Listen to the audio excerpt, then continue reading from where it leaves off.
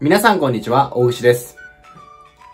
この動画は、森田先生が書かれた、TOEIC L&R テスト、品性単語という単語帳の中の、チェックテストの2の8番の解説の動画となっています。えー、問題を解いていない方もですね、この後すぐに問題を表示しますので、えー、それを一緒に解いてから問題の解説に移るようにしてください。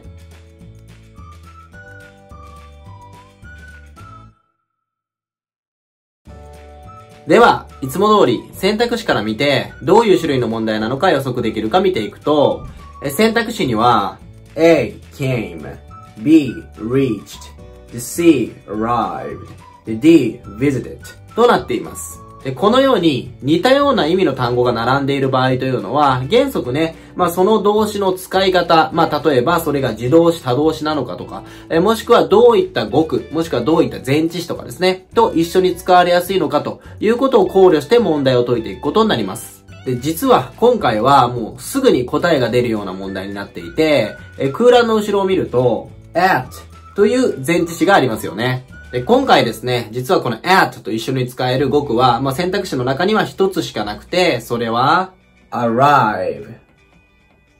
なんですね。え、arrive at はもうめちゃくちゃね、使われるフレーズで、意味としては、ほにゃららに到着するという意味になります。え、ですから、答えは速攻で、今回は C という風に決まるわけです。で、これだけではちょっと面白くないので、もちろんね、他の選択肢がなぜダメかと、で、他の選択肢の使い方というのも後で解説するんですけれども、まず、arrive の使い方について一つ補足をさせてください。まあ、arrive というと、毎回 at が、まあ、くっつくという風にはよく言われるんですが、実はもう一つよく一緒に使われる前置詞があります。それは、arrive in になります。えこの二つの違いを、まあ、前置詞のイメージからね、捉えていきたいんですが、まあ、at というのは、そもそも、点のイメージがあります。ですから、at を使った場合は、え話者がですね、その at 以下に来る場所を、もう単に1地点、まあもう、点だという風に見なしているんですね。大きくて広がりがあるような空間というよりかは、もうここだってこう指でピトッとね、させる一地点だという風に考えているイメージです。え具体的にどういうものが来やすいかというと、えー、例えば、え駅であるとか、空港であるとか、えホテルなんかはまあ比較的 at を一緒に使いやすいと思ってください。一方、in というのは、もともとですね、空間であったり、もしくは、立体のイメージですよね。何かこう空間的で包み込むイメージです。えということは、arrive in を使うパターンというのは、話者がその in の後ろに来る場所のことを、大きな空間的な感じで捉えている時に使います。まあ、具体的には、まあ、広い大きな空間ということですから、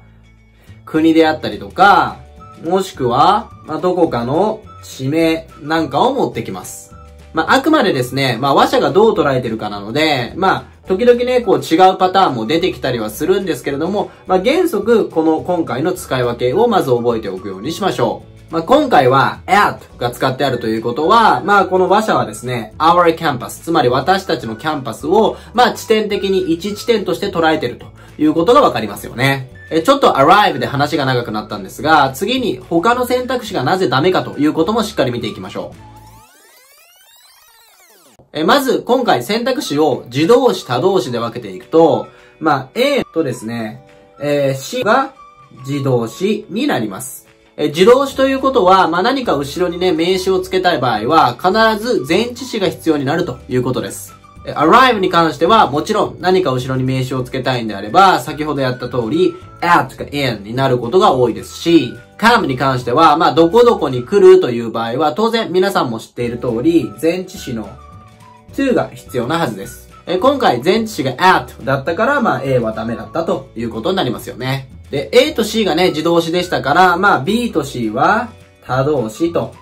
いうことになりますよね。え他動詞というのはね、後ろに特に前置詞も必要なく、直接目的語を取ることができるものです。で、B の reach は何度かに到着するという意味で、D の visit に関しては何とかを訪れるという意味の動詞ですよね。で、これらは気をつけないといけないのは、意味だけで考えるとですね、後ろに前置詞の to とかいりそうなんですよね。まあ、何とかに到着するとか、何とかを訪れるって言ったらなんかどうしても to が付けたくなっちゃうんですが、それはダメです。え今回 reach を使うんであれば、reached our campus という風に、まあ、前置つけちゃダメですし、え当然 visit に関しても、visited our campus という風に、まあ何も前置詞なしで使わないといけません。そういった観点で、まあ直接後ろにね、目的語を取らないといけないよということで、えー、at があるので B と D ももうダメだということになります。えー、これらの動詞の使い分けは非常に大事ですから、しっかり覚えておいてください。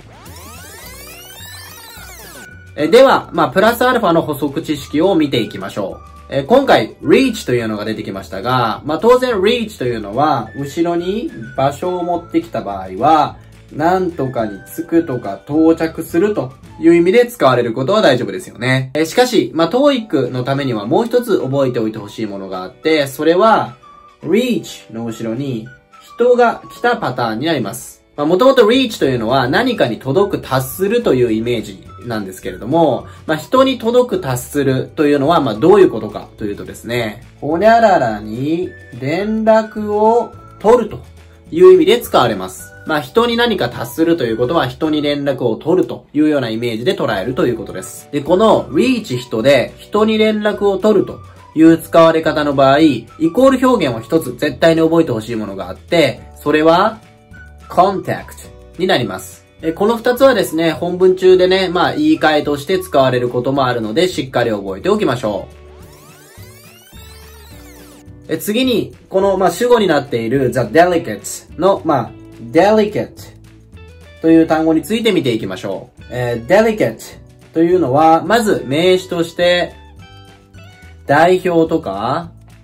施設とか、派遣員という意味があります。イメージとしては何か権限とかを与えられて、まあ代表してですね、どこかに行ったりとかするような人のイメージです。で、これ動詞としても使うことができるんですが、まあ先ほどの名詞のイメージからもわかる通り、なんとかを、まあ代表として選んで、まあ派遣するといった意味ですが、まあとにかく派遣するといった意味があります。で、この delegate なんですが、まあ注意点としてですね、これは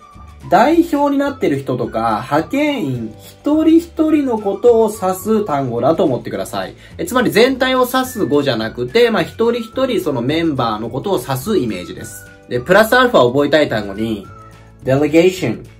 という単語があります。えこれは名詞として使ってですね、意味としては、まあ、代表団とか、もしくは、まあ、施設団とか、派遣団という風になります。ですからこの単語は、先ほどの delegate とは違って、まあ、一人一人のことを指すのではなくて、その派遣団とか代表団、全体のことについて指しているんだというふうに思ってください。この二つ、まあ、非常に似てますが、まあ、こういった違いがあるんだなというふうに覚えておいてください。次にですね、この campus という単語があるんですが、で日本語でキャンパスというと、まあ大学かなんかのね、まあえ建物とかもしくは敷地を含めたまあ空間のことを指すんだなというふうに思うと思うんですが、え実は英語ではですね、まあ大企業かなんかのまあ敷地のことも実はキャンパスと言えたりします。えですから、日本語のキャンパスだけじゃなくて、まあ、その大企業の敷地のことも指すキャンパスというのがあるんだなという風に覚えておいてください。では最後に文全体を読んで終わりにしましょう。The delegates arrived at our campus last week. ということで、えー、delegates と複数形になってますから、まあその派遣団員たちは、えー、私たちのキャンパスに先週到着したという意味で取れば OK ですね。解説は以上となります。ご視聴ありがとうございました。Be sure to give me a thumbs up and subscribe to my channel. See you next time. Take care.